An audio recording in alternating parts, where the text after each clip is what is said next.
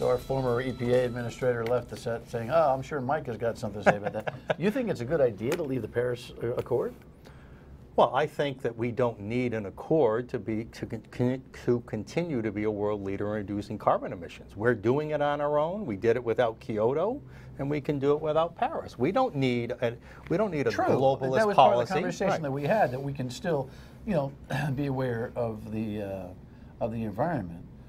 We don't need a globalist policy. As, Right. if, as if what we have a proprietary air and atmosphere. No, we, we have a conscious enough society and government that wants to reduce carbon emissions, and we're doing it. What and about the why- world? Well, the world can do what the world wants to do, but why should America, what Donald Trump is, why should America fund the world getting to that point? We'll take care of ourselves. You take care Well, of because yourselves. a couple of three billion dollars that we still, uh, you know, when it comes to when it comes to the uh, the big Well, picture, it's- it's, a it's a it's a little bit. It's not just the money; it's the sovereignty. You know, just like just like the Brits didn't want uh, somebody in, in the euro capital telling them what to do in their country. We don't need people in the European socialist countries telling us what to do with regard to climate. We, we're very good on our own. Thank you very much. All right then. Uh, we have other stuff that you want and to it tie- and it discuss. ties I right mean, we could go at this all day, Yeah, but I just the, the, the you know. By the way, if, if if Barack Obama wasn't engaged in that in that whole climate uh, deal, I mean, Donald Trump, half of what Donald Trump does is to erase what Barack Obama- Barack Obama Yep. did. Yep. And if you're going to tell me the president's principled and educated on this, I don't know. I'll eat my hat. I don't know. Or I'll eat yours. But Obama Anyway. didn't do it the right way either. It should have been a Senate treaty, ratified treaty. Anyway, okay. so this all ties into our family prosperity. All right, when the one thing Oh, that, that was- does? yes, Oh, okay. yes, because the one thing that's missing from all their discussions you heard was how this impacts real people and real families. Right? There's this mythical. I don't think the professor can prove that there's catastrophic climate change coming. There's this mythical problem we've created of this catastrophe. Maybe temperatures are rising, but is it a catastrophe? What we do know Go that's fast real. and show your charts, quick. Yeah, what we do know is that it's driving all these crazy energy policies like the carbon tax, like energy mandates, are driving up energy rates on families and businesses. Go to the charts that are driving people out of this state. Do you know that in those 12 year period, we've lost the equivalent of 11 cities and towns worth of people to net migration loss? The cost of energy and other taxes and regulations are so high on businesses and families that they're, they're fleeing our state. 80,000 people, that's 11 of our smaller cities and towns, gone. And that's what Rhode Island would look like on the right without those 11 cities and towns. This has got to stop. Of course, they These came from all over the state. I understand Yes, your yes, point, yes. but that, that's a creative way of, of Yeah. describing the, the population shift. But hmm, Well, okay. it's because of progressive policies like you just heard advocated for with your prior guests.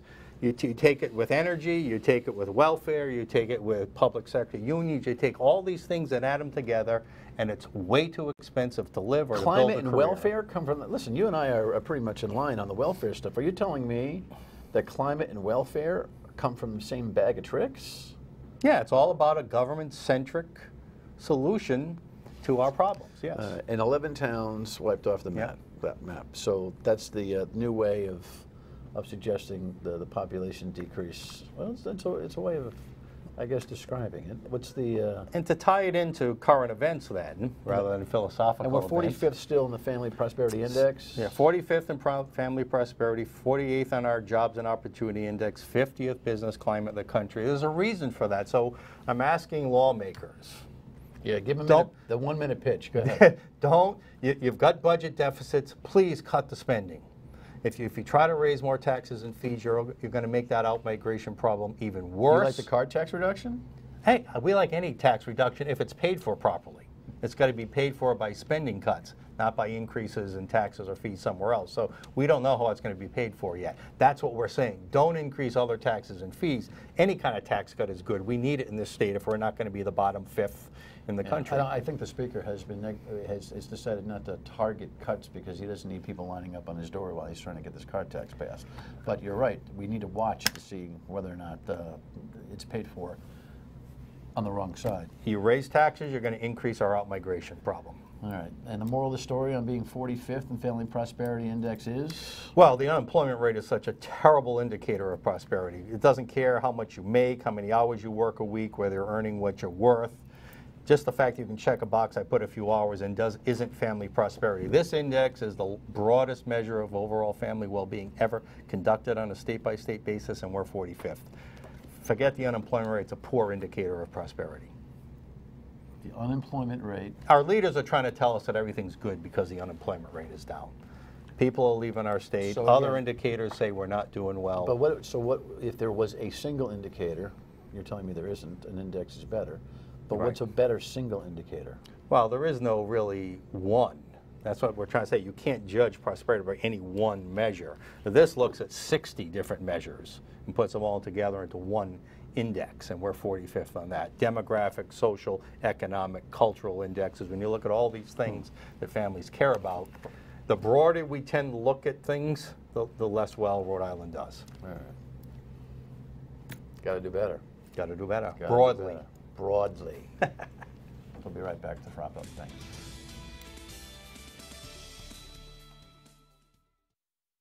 We actually have a couple more minutes left with Mike here. Uh, thoughts on this whole budget process thing going on?